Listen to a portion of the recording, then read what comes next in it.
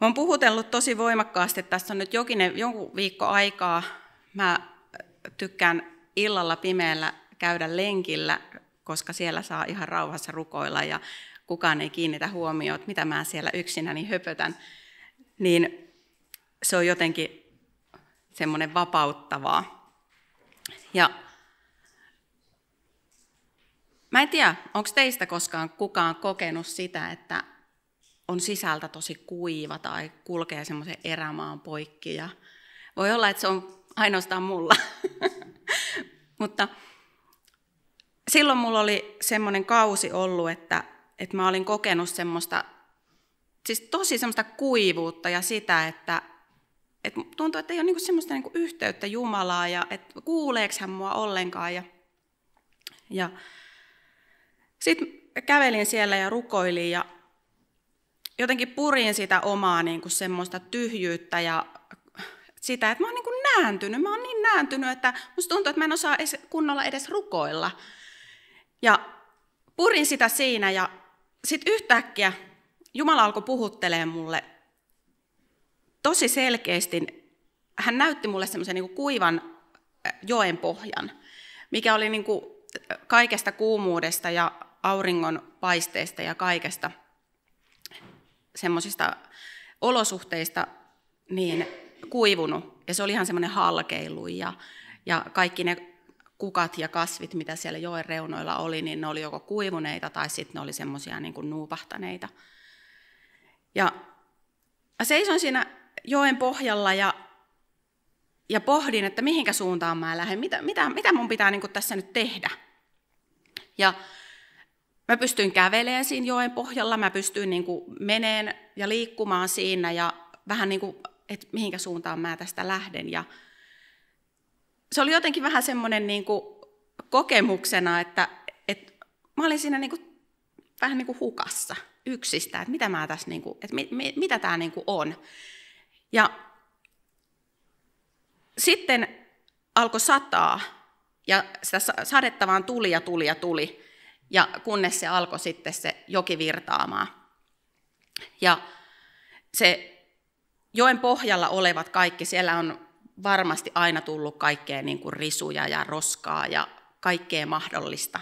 Ja ne kaikki roskat lähti liikkeelle, ne kaikki lika, mitä siellä oli, niin ne lähti liikkumaan ja, ja sitten ne kasvit ja nämä, mitä siinä ympärillä oli, mikä oli nuupahtaneita, niin ne heräs eloon taas, ne nousi pystyyn ja tuli vihreäksi. Ja, ja tämä jotenkin puhutteli mulle siis niin kuin tosi kovasti, mulla oli mielettömän kiitollinen olo siitä, että jotenkin Jumala antoi mulle sen, että hei, että sä et ole yksin, että sä et ole siinä tilanteessa yksin, vaikka nyt tuntuu siltä.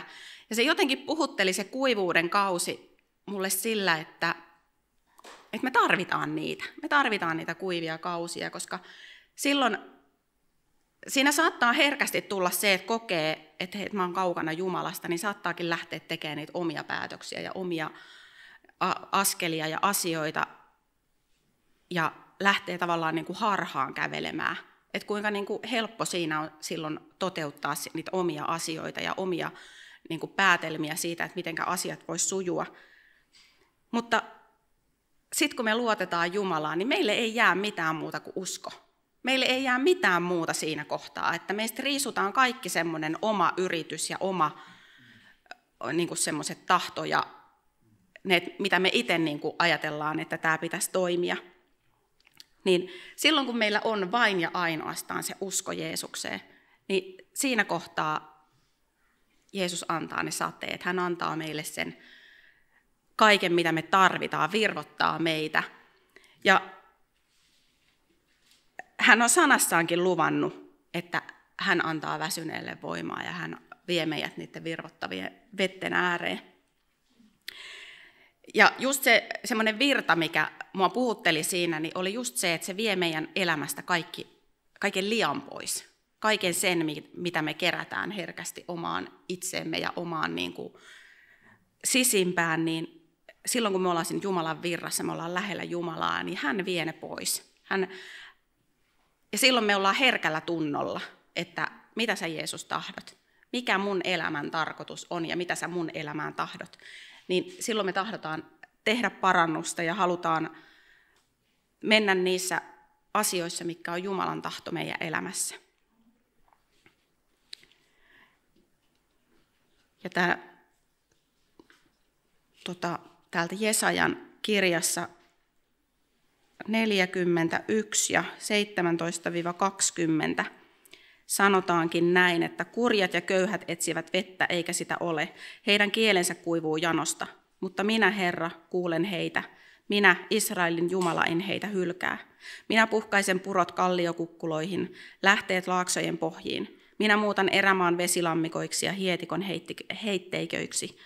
Minä kasvatan erämaahan setripuita, akasioita, myrttejä ja öljypuita. Minä istutan arolle ky- ja jalavia ynnä hopeakuusia, jotta he näkisivät ja tietäisivät, huomaisivat ja myös ymmärtäisivät, että Herran käsi on tämän tehnyt, Israelin pyhä on sen luonut.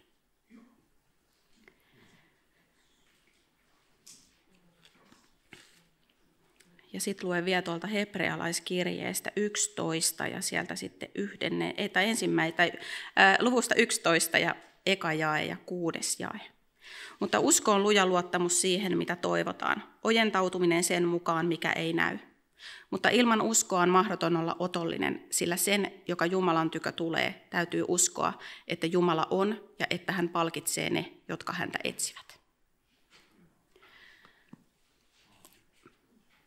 Mä oon pohtinut tässä paljon kolmisen vuotta, kolme vuotta sitten aika lailla näihin aikoihin, niin mun mummuni pääsi taivaan kotiin ja silloin hänen sain elää hyvin tiiviisti ne muutamat viimeiset viikot hänen elämässään ja mä oon pohtinut sitä nyt tosi paljon ja jotenkin juuri tähän, että hän sai sen lopullisen uskonratkaisun tehdä silloin ihan viimeisinä viikkoina, niin silloin mä menin sairaalaan häntä kattoon ja se mummu sitten kysyi multa, että, että oli kauhean hiljaa siinä ja pohti, pohti, vaikutti niin kuin pohtivalta. Ja hän sitten kysyi multa, että onko se Katri niin, että kun mä uskon Jeesukseen ja mä uskon siihen, että hän on kuollut munkin syntien tähden, niin, niin riittääkö se? Niin, tiedättekö miltä tuntui sydämessä sanoa, että riittää se? että, että hän sai niin kuin siinä kohtaa tehdä sen ratkaisun ja hän uskoi.